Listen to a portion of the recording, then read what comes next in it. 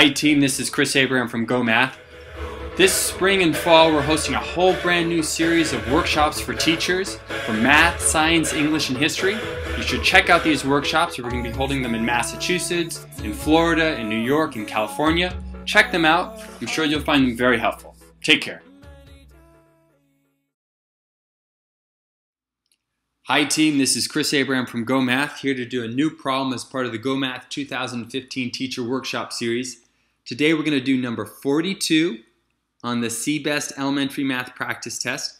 This problem is going to involve rounding and estimating. So let's take a look at it. As I read it over, I want you to visualize what's going on in the problem and then we'll work on uh, identifying the key math concepts and doing the math. All right, here we go. Number 42.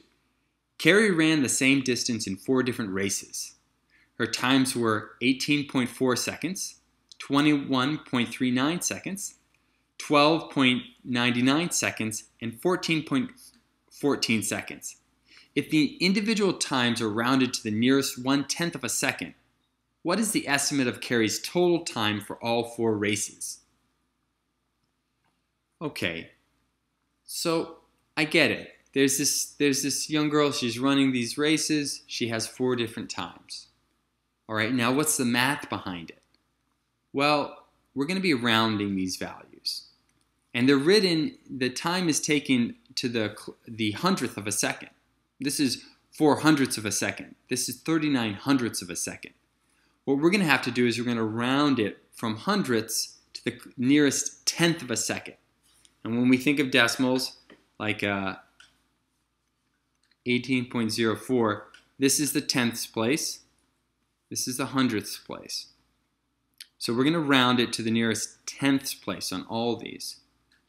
And then it says here we're going to find the total. And whenever you see total, it means we're going to be adding up all those values. So let's start. I'll start with this one here. Rounding rules. Whenever it's 5 or greater than 5, it rounds up. And whenever it's less than 5, it rounds down. So I I'm rounding to the nearest tenth, which means I look to the hundredths place. This 4, since it's less than 5, rounds this all of this down. That would become a 0. So this first time would become just 18 seconds, 18.01 seconds. I'll do the next one, 21.39, or 21 seconds and 39 hundredths. I'm rounding to the nearest tenth, so I look to the hundredths column. That 9 is greater than the 5, so it rounds up, making this 3 a 4.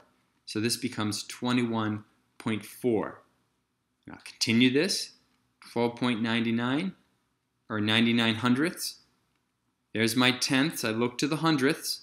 Since it's a 9, it rounds up, rounding the 9 to a 10, and that 10 becomes 10 tenths, or one whole, so this one would be thir uh, 13 seconds. She really was fast that day.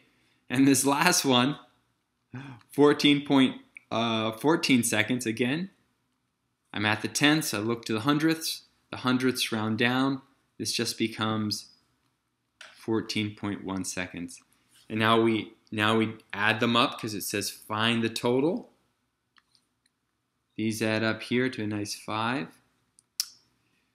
can do this a bunch of different ways. 8 plus, uh, 1 is 9 um, 3 plus 7, 3 plus 4 is 7, so 8, uh, 9 plus 7 is 16. Carry the 1. Then I add these up, 1, 2, 3, 4, 5, 6. Make sure I place the decimal in the correct place. And I arrive at the answer with confidence, having reviewed basic place value with tenths, hundredths, practice rounding to the nearest tenth, um, setting up my work so that I can add it up in an organized fashion so I can get to the correct answer without making careless mistake. In a problem like this, it's not really the math that trips teachers up. It's careless mistakes. The math is easy, but it's very, very, very easy, even easier to make a careless mistake. And look how close these answers are. You're off by a tenth, maybe you're off by a second, and you'll ease, it's very easy to make a careless mistake here or here and uh, be thrown off. Okay, so make sure you uh, set up the problem and do all the steps correctly and in an organized way so you get to that correct answer. All right, team, this is Chris Abraham from GOHmath. Hope you enjoyed the video. Have a great day. Take care.